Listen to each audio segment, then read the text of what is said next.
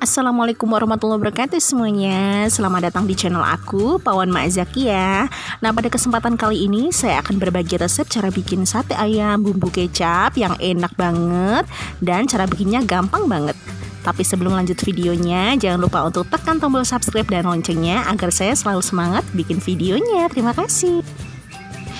Siapkan dada ayam, kemudian potong-potong untuk besar kecilnya disesuaikan selera.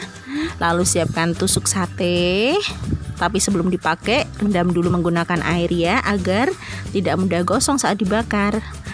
Kemudian masukkan ke dalam tusukan sate seperti ini dagingnya untuk banyaknya disesuaikan selera masing-masing aja ya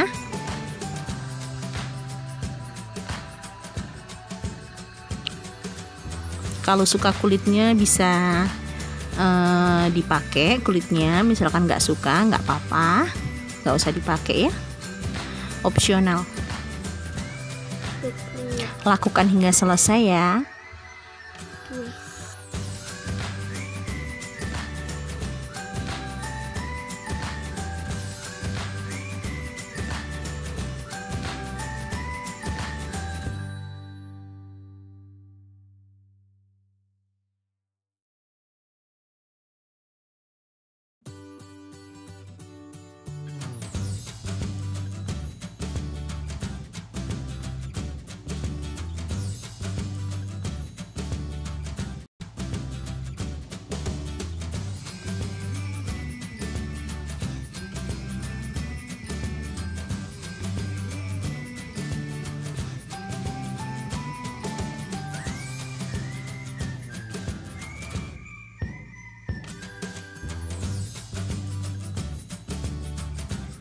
Nah ini udah selesai. Kurang lebihnya seperti ini ya teman-teman.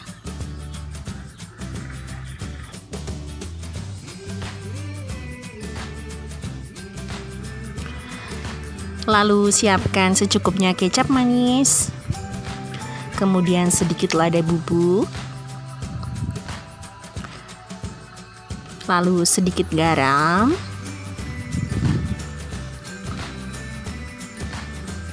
diaduk sebentar dulu ya. Setelah tercampur tambahkan secukupnya minyak goreng. Nggak perlu banyak-banyak.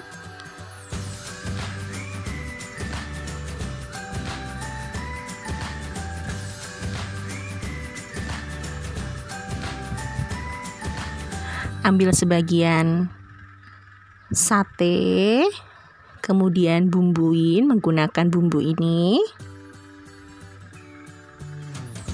Selain daging ayam, bisa pakai daging sapi atau daging kambing ya. Kemudian kita diamkan dulu minimal 5 menit agar bumbunya meresap. Sembari menunggu bumbunya meresap, siapkan alat bakar atau arang atau teflon ya, terserah bunda punyanya apa, nggak apa-apa dipakai aja. Tapi sebelumnya tangkringannya ini saya oles dulu menggunakan minyak goreng agar tidak lengket nanti pada dagingnya. Gunakan api kecil ya. Bakar sate hingga matang. Jangan lupa dibolak-balik ya agar tidak gosong.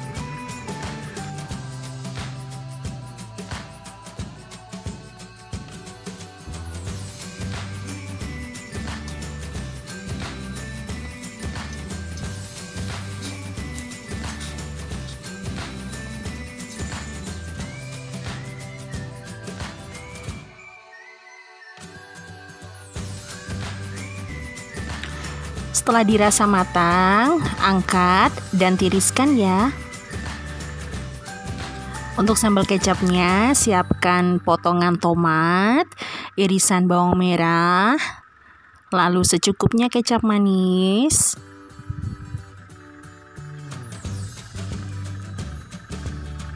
Lalu secukupnya lada bubuk ya. kemudian campur. Bisa pakai irisan cabai jika suka pedas. Bisa cabainya dipisah juga. Selera ya.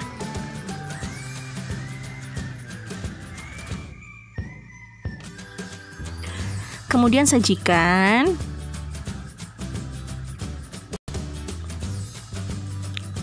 Sajikan sate ini bersama sambalnya. Di sini saya gunakan alas daun pisang ya agar lebih wangi.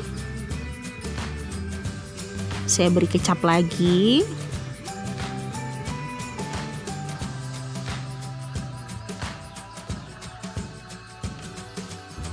Ini enak banget ya. Cara bikinnya mudah bukan? Kemudian jika suka pedas bisa ditambahkan cabai sebagai lalapan.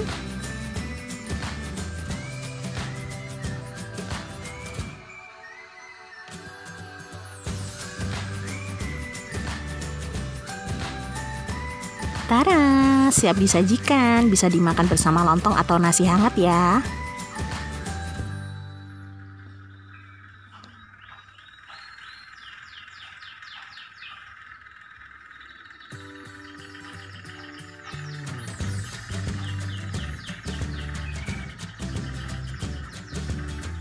Sekian dulu ya videonya. Cara bikinnya gampang banget kan? Terima kasih. Jangan lupa di like, komen, dan subscribe agar saya selalu semangat bikin videonya buat kalian semuanya. Wassalamualaikum warahmatullahi wabarakatuh.